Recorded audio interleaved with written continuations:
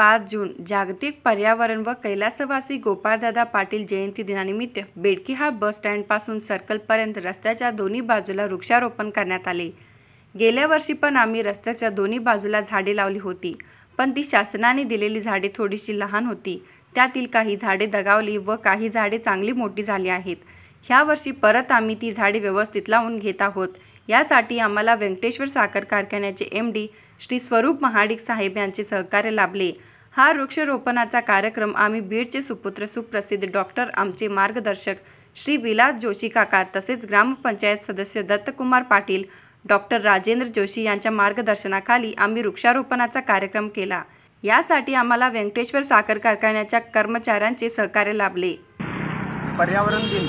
यानिमित्त आम्ही बेडक्याळ बसस्टँडपासून सर्कलपर्यंत वृक्षारोपणाचा हा इथं कार्यक्रम केलेला आहे. तरी गेल्या वर्षीसुद्धा आम्ही हा वृक्षारोपणाचा कार्यक्रम केलेला होता. तरी आम्हाला कर्नाटक शासनाकडून थोडी लहान वृक्ष मिळाले होते. त्यामुळे ते लहान वृक्ष काही कारणास्तव खराब झाले.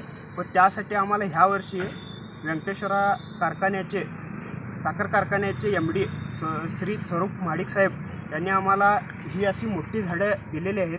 व आज पाच जून पर्यावरण दिन या निमित्त व गोपाळदादा पाटील जयंती यांच्या निमित्त हे दोन्ही औचित्य साधून आम्ही हे वृक्षारोपणाचा कार्यक्रम आज केलेला आहे. आणि यासाठी आम्हाला आमच्या बेडकाळ गावचे सुपुत्र सुप्रसिद्ध डॉक्टर श्री आमचे मार्गदर्शक श्री विलास जोशी काका व दत्तकुमार आमचे मार्गदर्शक श्री दत्तकुमार पाटील ग्रामपंचायत सदस्य बेडकाळ यांच्या मार्गदर्शनाखाली आम्ही हा इथं कार्यक्रम पार पडला व यासाठी आम्हाला व्यंकटेश्वरा साखर कारखान्याचे त्यांच्या कर्मचाऱ्यांचे व एम डी साहेब स्वरूप माडिक यांचे भरपूर सहकार्य लाभले. तसेच एन्व्हायरमेंट इंजिनियर रामदास पाटील यांचेसुद्धा आम्हाला सहकार्य लाभले.